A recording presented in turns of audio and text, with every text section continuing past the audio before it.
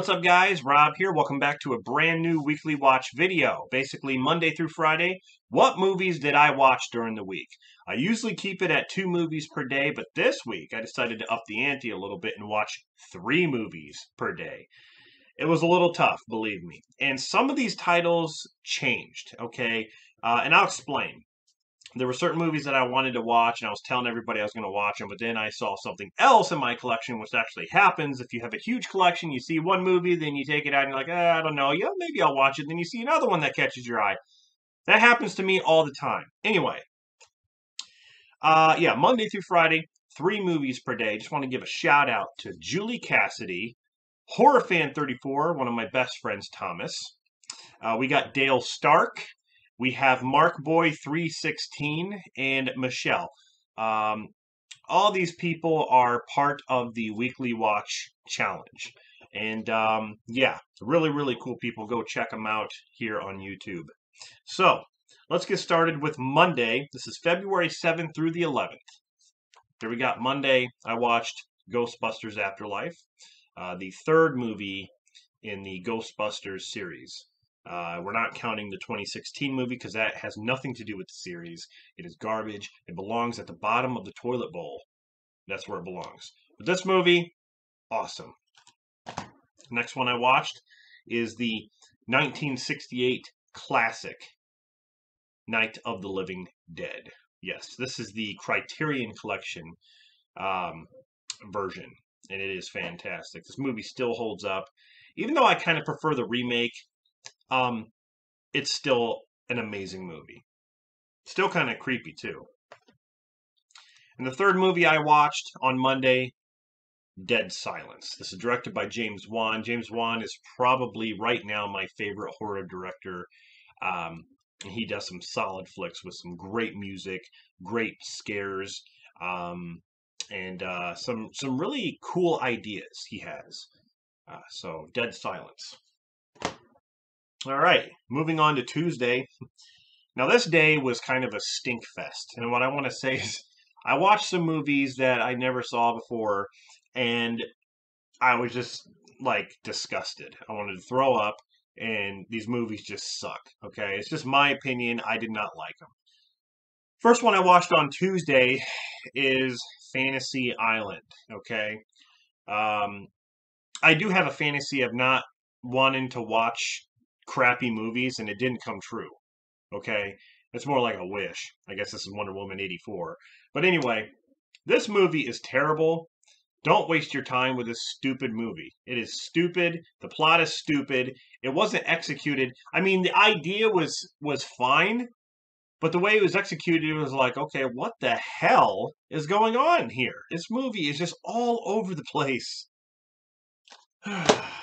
The next one is a movie you probably never heard of. It is a low budget, um, you know, independent horror film, and it is called Restricted Area. This movie is this one of the stupidest films I've ever seen. Um, the whole beginning. I mean, you have Chauncey Phillips who plays, you know, he's Cool Duder here on YouTube. Uh, you know, I give the guy credit for acting and stuff, but this movie is terrible. I'm sorry. The whole beginning shows Cool Duder and um, I believe Danny from uh, or whatever, they're walking for like a good five minutes. They're just sitting there walking. And the camera is like they're walking into a building. They're walking up to it's just them walking the whole time. They could have cut like two minutes of that footage out. This movie is just terrible. Uh, and the last one I watched, uh, I seen this before, and I wanted to revisit it because I do love the first movie, and this is a sequel to the original '70s version, and it is "I Spit on Your Grave: Deja Vu," otherwise known as AKA Day of the Woman. Get the hell out of here! The Day of the Woman? No, this movie is atrocious. I mean, the original I Spit on Your Grave was fantastic. I love that movie. It's one of my favorite revenge flicks. Okay? This one, don't waste your time. Moving on to Wednesday, uh, I watched Batman Begins. Uh, this is my favorite out of the Nolan trilogy. I know it's weird to say that. A lot of people will say, well, what about The Dark Knight with Heath Ledger? That's the, the best one. I like The Dark Knight a lot, but this one I feel is the is my favorite. Uh, if I review it, I'll, I'll go over a lot of reasons why. The next one I watched on Wednesday is Blade. I freaking love this movie. Blade is awesome. I saw this in the theater. I remember the first time I was just blown away by it uh, when Wesley Snipes was, you know, doing the martial arts and, and kicking vampire ass. Uh, amazing. Wesley Snipes to me is Blade. and the last one I watched on Wednesday is Resident Evil Welcome to Raccoon City. Uh, this came out on Tuesday, and I bought it. Um, this is not as bad as people are saying. I actually enjoyed it for what it was. Does it have problems? Of course, yes. It has. In fact, it has many problems. But for what it was, it was fun. It was a Resident Evil movie. It felt like one. It really did. Uh, there's some things they could have changed, but it was good. Moving on to Thursday, I wanted to watch this because I haven't seen it in a long time and uh, wanted to revisit it, and it's Godzilla. Uh, I believe that, yeah, 98. This is the uh, 98 version, or, or, otherwise known as the American version, so to say.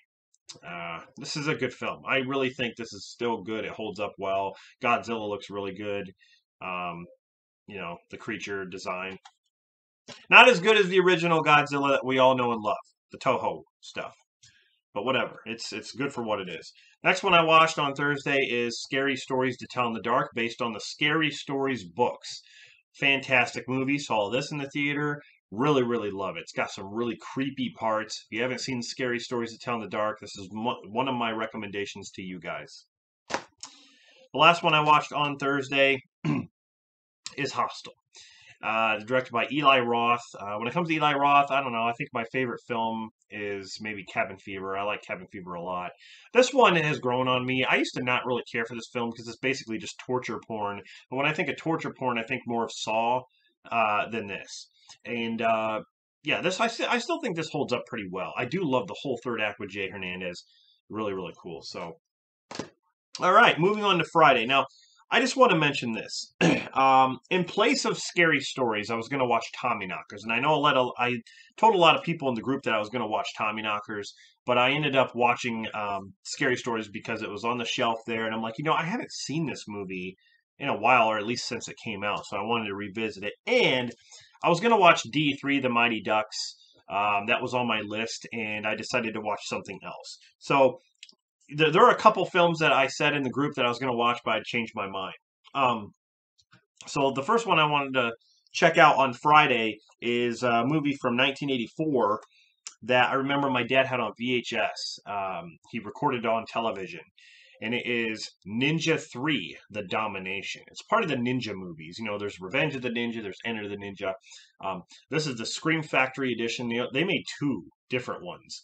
Uh, but this is basically about a woman who gets terrorized, um, or she actually gets possessed by this ninja spirit and she turns into one. But the whole beginning of this film is this ninja taking out police. It's like a horror movie. He's cutting people up with his katana sword, throwing ninja stars. He's freaking, he's killing people. This ninja is killing people. Um, really, really cool movie, guys. Uh, it's kind of cheesy, but it's it's cool. Next one I checked out on Friday is a movie I saw in the theaters. Really, really enjoyed it a lot. Um, it was uh, it, uh, written or it was produced by James Gunn, and uh, it is Brightburn. Basically, a Superman movie. If if Superman went bad, what would happen? Like, what would it look like? That's basically what this is. This kid crash lands from this alien ship, uh, you know, on this farm, and like um, the parents take him in, and this kid has powers. Uh, you know he has flight, he has super strength, and in the the heat vision or whatever. It's it's just like Superman, but they create their own little story with it. Um, I was pleasantly surprised on how gory it was. This movie is gory, but uh, it's just cool. It's like a, a evil Superman horror film. That's what it is. so I decided to end Friday with one of my favorite movies. Um, that's directed by Sam Raimi. Uh, of course, you know Evil Dead and Spider-Man movies, and I still think this movie holds up. I, I think it's brilliant. There are a few CG moments that could be changed, um, or tweaked or something like that. But all in all, I love the story. I love the ending to this movie. It's a lot of fun, and it is drag me to hell. Uh, you know, basically, this girl gets terrorized by this old lady, this gypsy lady, who lay, who she basically lays a curse on her, and this um, demon starts to uh, stalk this girl and tries to bring her down to hell.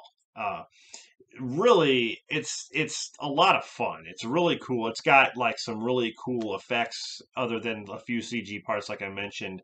But um it's just a yeah it's just it's got that Raimi feel to it Sam Raimi feel uh, but yeah this includes the oh this is the unrated director's cut but uh yeah really cool movie if you haven't seen drag me to hell definitely check it out so, uh, what do you guys think of the titles that I mentioned here? Let me know in the comments. Um, and like I said, you know, a lot of those I recommend to you guys if you have not seen them. Uh, but again, thank you very much for tuning in. I will be back next week uh, to show you guys what I watched. And I'm going to try to maybe push three movies again. I don't know. We'll see. I usually like to keep it at two, but once in a while, I'll switch it up. But stay tuned for like more top 10 videos, more reviews that I'm working on, and uh, just different videos in general. So, all right, guys. See you in the next one. Say bye, Freddy. Say bye, bitch.